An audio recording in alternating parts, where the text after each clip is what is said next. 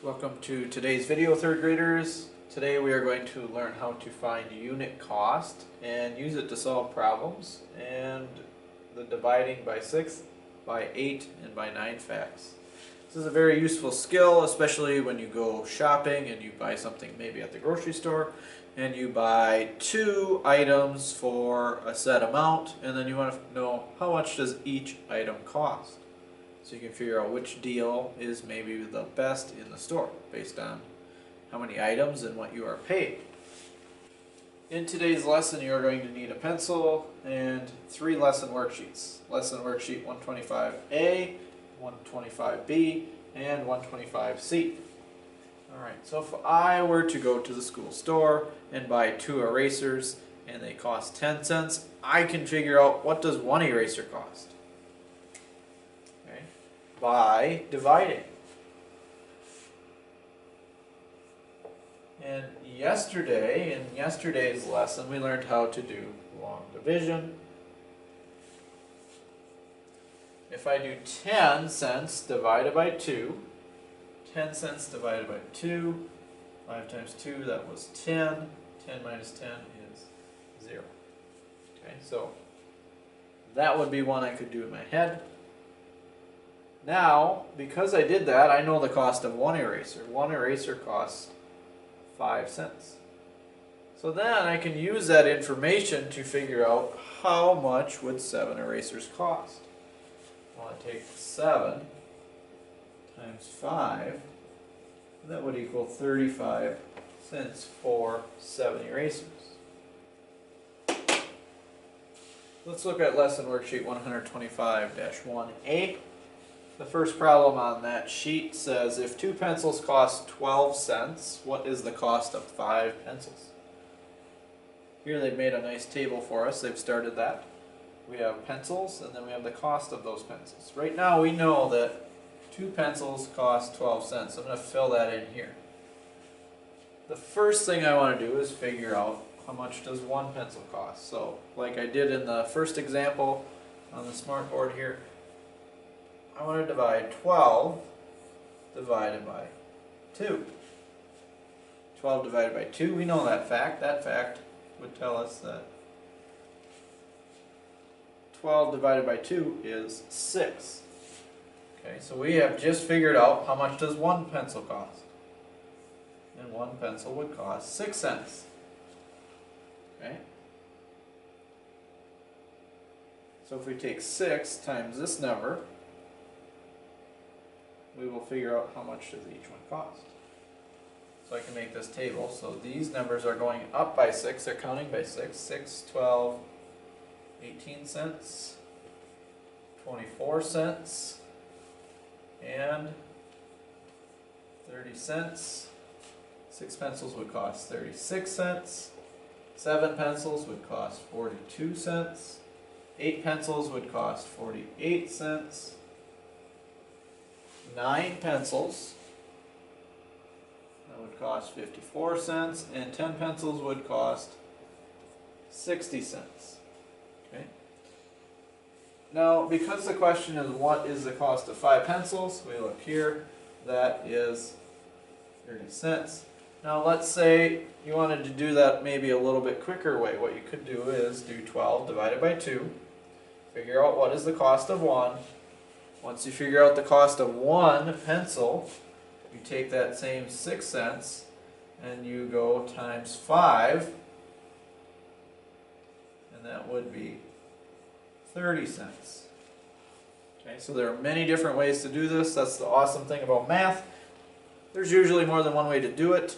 It doesn't really matter as long as you understand how you got to your answer and you show the steps that you took to get to your answer.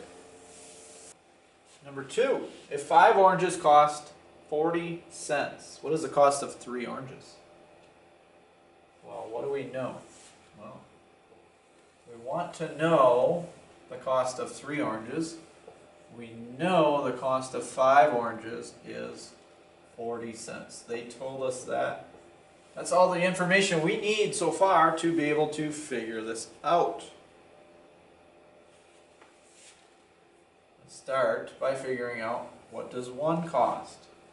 So forty cents divided by 5, 40 divided by five. Do that in your head. You can do that in your head because forty divided by five is eight. And if you're to do eight times five, that's forty.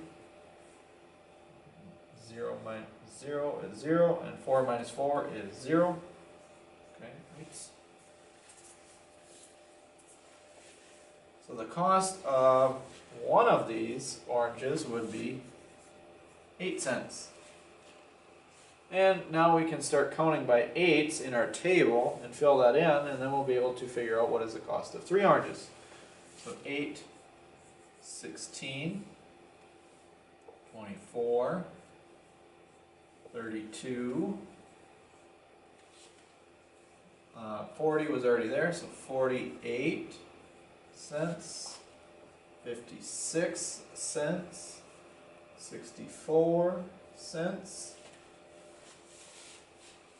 seventy-two cents, and eighty cents. And again, because they want to know the cost of three oranges, once we figure out what does one cost, we could take eight cents, take that times three, and that would tell us that we would have to pay twenty-four cents for three oranges. And number three, if ten markers cost ninety cents, what is the cost of six markers? So eventually we are trying to figure out what do six markers cost. We know ten markers cost ninety cents. I'm gonna go down to my table here. I know that's ninety cents. Okay. So I should do ninety cents divided by ten. I can do that in my head because what number times ten equals ninety? That would be nine cents. Okay, so one marker costs nine cents. So now, in my table, I can count by nines. 9, 18, 27, 36, 45, 54, 63, 72, 81, and 90. And once again, remember if I know the cost of one, I can figure out the cost of six by taking nine cents times six. Use your magic nines. One, two, three, four, five, six. Five tens, four ones, fifty-four cents. Okay, that wraps up lesson 125 worksheet A. We're going to go to the B side next. And here is the B side. So we have fact cards here.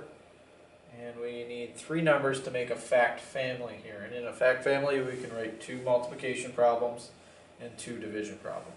48, 6, and 8 because 6 times 8 will get us to 48. The opposite of that is 8 times 6.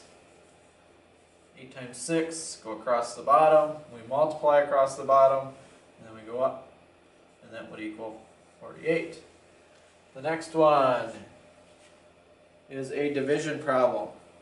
Remember for the division problems, we start at the top, we go down to a side, and then our answer is the opposite direction. So if I go down to the left, I want to go to the right. If I go down to the right, then I want to go to the left. This is a division bar. The number that's on top of our card is 48. That goes on top of the division bar. 48 divided by, we'll go down this side first. 48 divided by 6, that is 8. We go across, okay? Or we can go the other way. 48 divided by 8 equals 6. the next card, the one number I am missing is 7 because because 7 times 9 equals 63. Let's flip that around, do the reverse of that. 9 times 7 equals 63. And then the next two we need to divide. 63 divided by 7. That equals 9. And 63 divided by 9 equals 7. 72, 8, and we're missing a number there. The number we are missing is 9. Let's do the two multiplication facts in this fact family. 8 times 9, 72. Flip that around. 9 times 8, that's 72. Here we have a division box. Still start at the top. Let's write that number in the middle of the box, inside the box. 72 divided by, we'll go down to the left first. 72 divided by 8, that equals 9. Now when I have a single digit number on as the answer to this, I want to write it right above the ones. Do the next one, write the 72 inside the box, divided by 9 equals 8. My 8 is right above my ones place because I only have one digit and what is called the quotient in the answer. Next three fact cards that we need to do are 54, 9, and we are missing the number 6. So let's multiply first. Let's do 9 times 6, and we know that that is 54. And we know 6 times 9, that equals 54. Again, we have our division bar. 54 goes on top. Let's divide by 9 first. 54 divided by 9, that is 6. And go the other direction, 54 divided by 6 equals 9. Moving on to the next card, 56, 8, and the number I am missing is a 7. Let's multiply across. 7 times 8, 56. 8 times 7, 56. And let's do the two division problems. 56 divided by 7 equals 8. And then 56 divided by 8 equals 7. 42, 6. And the number we are missing is 7. 6 times 7, that's 42. 7 times 6 is 42. Now we need to go down and write our two division facts.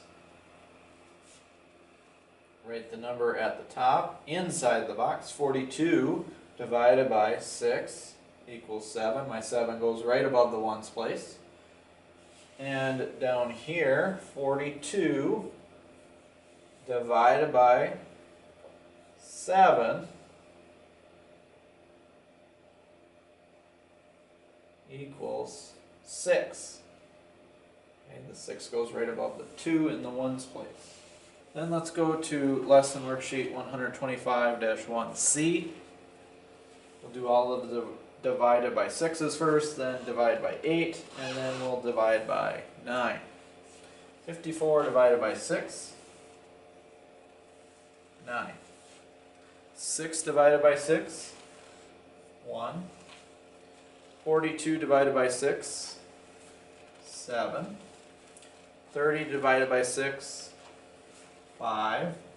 24 divided by 6, that is 4. 60 divided by 6, 10. 48 divided by 6 is 8. 12 divided by 6, that is 2. 36 divided by 6 is 6. 0 divided by 6, that is 0. If you'd like to try these before I do them, go ahead and hit pause at any time. 16 divided by 8 is 2. 8 divided by 8 is 1. 56 divided by 8, 7. 32 divided by 8, that is 4. 72 divided by 8 is 9. 0 divided by 8, 0. 48 divided by 8, 6. 80 divided by 8, that's 10. 64 divided by 8, that's 8. And 24 divided by 8 is 3.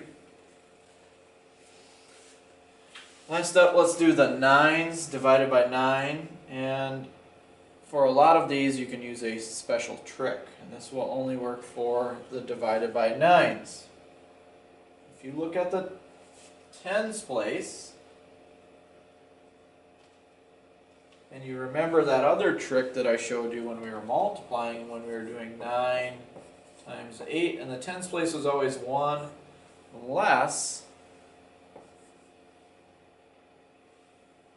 than the number we were, we were multiplying times 8. We can do the same thing here. So I'm going to look at 0 times 9 first, and we can't use the trick for this, but any number, 0 divided by any number, is always 0. Okay, so let's do the next one. 63 divided by 9. The trick for this is look at the tens place and say what number is one more than that? 63 divided by 9. What's one more than 6? 7. 72 divided by 9. What's one more than 7? 8. 45 divided by 9. What's one more than 4? 5. 36 divided by 9. 4. 27 divided by 9. What's one more than 2? 3. 81 divided by 9. What's one more than 8? 9. 90 divided by 9. What's one more than 9? 10. 18 divided by 9. What's one more than 1? Well, that's 2. And 54 divided by 9. What's one more than 5? 6. So anytime you can use a trick like that to help you learn a new fact, go ahead and use it. Okay? Especially to learn these facts. Help you get these down so that they are automatic. Okay, that's going to wrap up our video today. And if you have questions on this, please feel free to ask me. I'll catch you on the next video.